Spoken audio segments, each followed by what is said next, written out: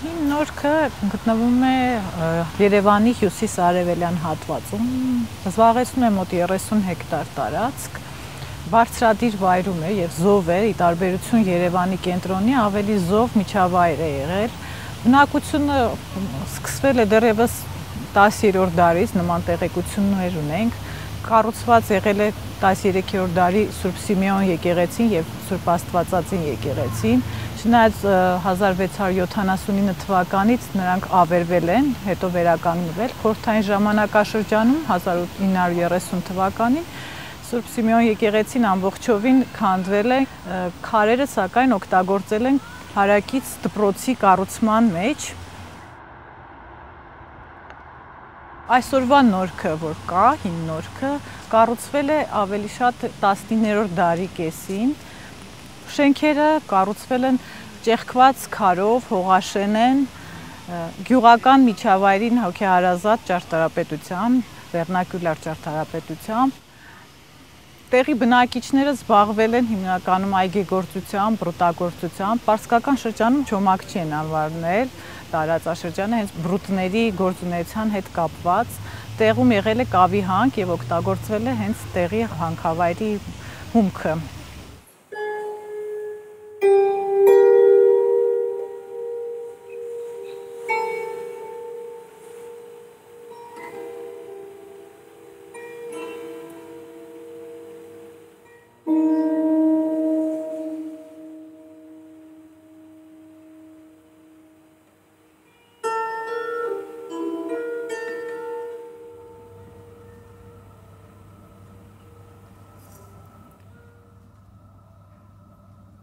երբ որ եղել է Սուրբ Սիմեոնի եկեղեցին, եկեղեցուն կից եղել է մեծ չինարի ծառ։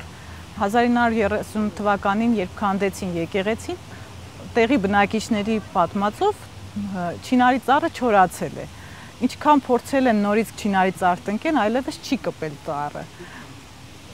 Այսօր էլ հրաապարակը անվանում են չինարի հրաապարակ այսինքն անվանումը ժառանգաբար փոխանցվել է եւ գուցե եւ կարողանանք նույնպես պահպանել, որովհետեւ թաղամասը կարևոր չի միայն կառույցներով, թաղամասը կարևոր է բնակիչներով, ասույթներով, անվանումներով, ավանդույթներով։ Չինարի հրապարակին կից պահպանվել է ծխական դպրոցը, որը սրբատաշ տուֆից կառույց է, այսօր այն գործում է որպես փոստի բաժանմունք, սակայն անմխիթար վիճակում է գտնվում։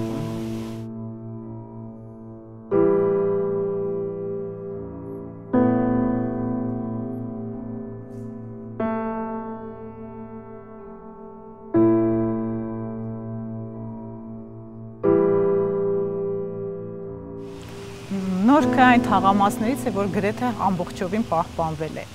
պահպանվել է փողոցային ցանցը, տները, նույնիսկ ընտանիքները ժառանգաբար ապրում են այդ տներում։ Այնտեղ դեռևս հիմա էլ զբաղվում են գինեգործությամբ, չնայած այն այգիները, որոնք եղել են, այսօր կառուցապատված են, նորքի ինֆեկցիոն հիվանդանոցն է այգիների տեղում եւ ընդհանրապես նոր կառուցված Արմենակյան փողոցը այգիների միջով է անցել, սակայն տներին կից այգիներում դեռևս մշակում են խաղող, հին հնձանները կան, կարասները կան, իրենց պատրաստած եւ այդտեղ էլ դեռ փոքր մասշտաբով գինի են արտադրում, շատերը նաեւ վերականգնել են իրենց մառանները։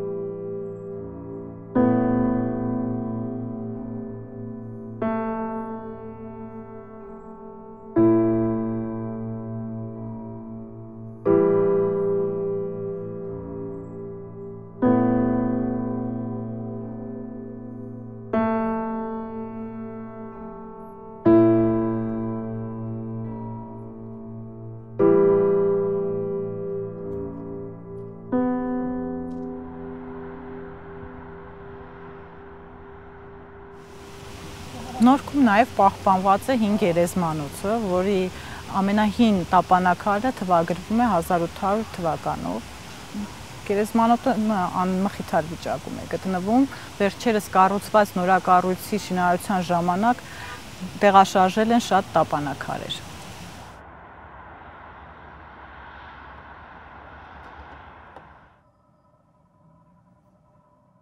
Չնայած որ 1837 թվականին նորքը փաստաթղթով մտել է Երևանի մեջ, սակայն դեռևս Երևան չի կարելի համարել, որովհետև շատ է կտրված Երևանից, թե կենցաղով, թե ապրելակերպով, Շատերը, եթե կարողանում են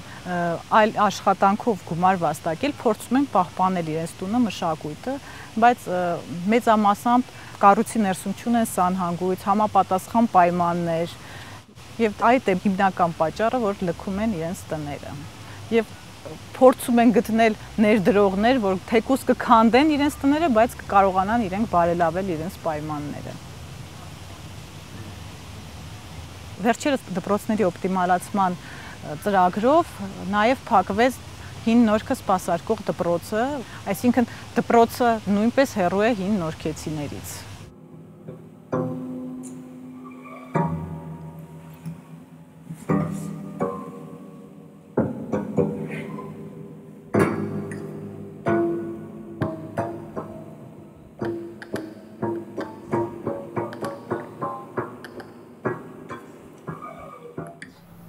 Այսօր հին նորքը գտնվում է պարադոքսալ վիճակում։ Մի կողմից կենցաղային վատ պայմանները դրթում են բնակիչներին բարելավել պայմանները, վերանորոգումներ կատարել, բայց հաշվի չեն առնում միջավայրը եւ նորմերը։ Թվում է, թե այս իրավիճակում լավագույն տարբերակը պետական մոտեցմամբ միասնական նախագիծն էր, սակայն հաշվի առնելով նախկին նախադեպերը, այս տարբերակը կարելի է համարել ավելի քան ընդունելի։